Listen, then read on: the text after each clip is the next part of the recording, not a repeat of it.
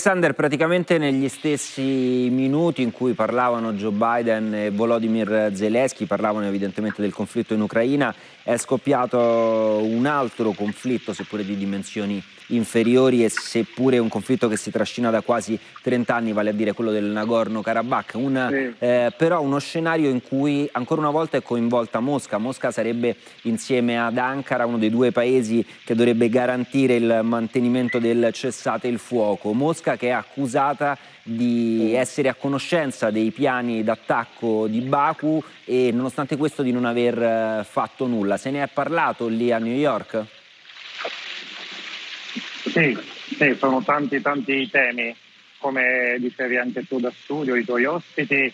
Eh, io ho avuto l'occasione oggi per l'agenzia Vista appunto di seguire il dibattito proprio dall'aula del, del, della, General Assembly, della, dell'aula del, dell'ONU, sempre molto molto emozionante. E posso confermarti questo, c'era il discorso di Biden e il discorso di Biden era molto molto seguito, appena finito il discorso di Biden la metà dell'aula si è alzata ed è uscita per uh, degli incontri, per prendere un caffè, per fare, per fare diciamo, delle, delle, de, delle, altre, delle altri incontri. Uh, ed è proprio uno dei temi, una delle, delle questioni che ponevate anche da studio, ovvero il, in qualche maniera il non ascolto no? di uh, quello che uh, sono gli appelli di quello che si dice in aula e quindi la necessità di riformare questa istituzione per farla in qualche maniera contare di più, quindi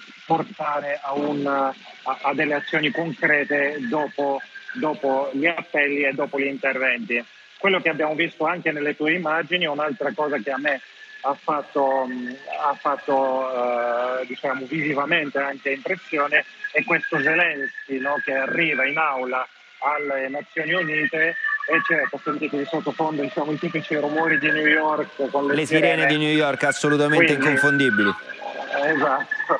Allora, quelli ci sono continuamente, naturalmente, proprio non, non segno, sta, sta passando una camionetta dei vigili del fuoco, no? che qua sono visti molto come degli, ero, come degli eroi, eh, diciamo, ci sono proprio tutte le, eh, lungo le strade diciamo, del centro di Manhattan, le, uh, le, le, le, caserme dei pompieri storiche che sono anche aperte in qualche maniera al pubblico e ci sono diciamo, tutti i turisti che vanno a farsi le foto. Chiusa questa parentesi, l'altra cosa, ecco. Ti rivediamo, vuoi concludi quello che stavi dicendo?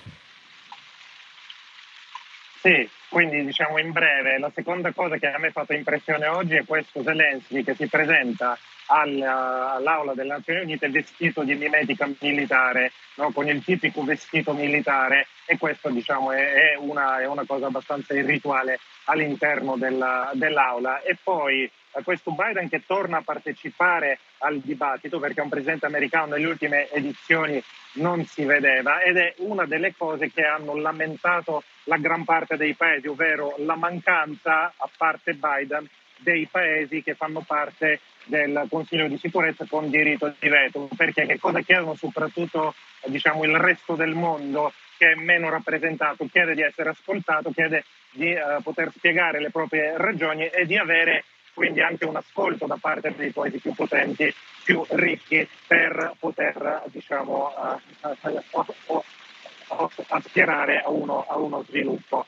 Uh, e uh, per quanto riguarda il tema dell'immigrazione, di cui naturalmente in Italia molto si parla, ecco, dall'America, visto dall'America, è solo uno dei temi e qui sta anche il ruolo della Premier di Giorgio Meloni che è quello di sensibilizzare, di spiegare, di portare questo tema sulle agende dei grandi e sulle agende delle, uh, delle organizzazioni mondiali, perché visto da New York è solo uno dei temi, non è il tema centrale come lo vediamo noi in America. Un po' Giorgio Meloni l'ha portato in Europa e abbiamo visto i risultati con von der Leyen, con la missione europea in Tunisia, ma uh, una seconda questione è questa, e l'ha detto il, la Premier poco fa proprio qui al Colombo Circle dove ci troviamo, dove ha rilasciato questa intervista, che l'Italia ha cambiato strategia sulla uh, gestione dei migranti. In che senso? Nel senso che i governi precedenti a quello attuale puntavano molto sul ricollocamento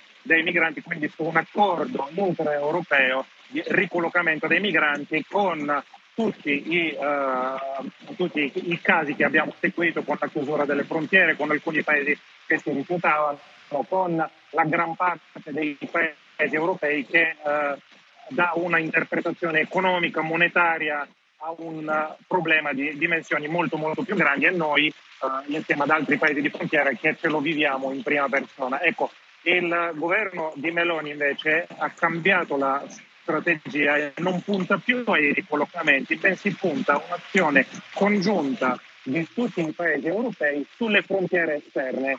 Quindi non, non punta più alla immigrazione secondaria, ma alla rafforzare le frontiere, ma non soltanto a livello uh, militare, ma andare proprio ad intervenire laddove uh, diciamo, sono in qualche maniera le cause che spingono poi le, le, masse di persone ad emigrare. Naturalmente non è un lavoro che possiamo aspettarci che può uh, arrivare da un giorno all'altro, ma se non iniziamo non potremo mai metterci nella giusta prospettiva e andare ad aggredire un fenomeno che è molto molto grande e che dobbiamo in questo momento inseguire. Grazie, grazie ad Alexander Yagnagiev che nonostante le difficoltà tecniche ci ha raccontato anche l'atmosfera di questa assemblea. Eh...